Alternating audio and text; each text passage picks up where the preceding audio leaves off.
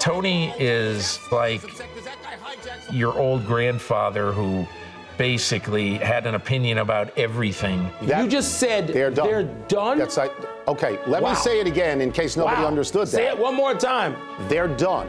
They had it. Tony Kornheiser is still one of the most quick-witted people I've ever seen in my life. And Lance Stephenson is to LeBron James like my bathtub is to Niagara Falls. So shut up with this.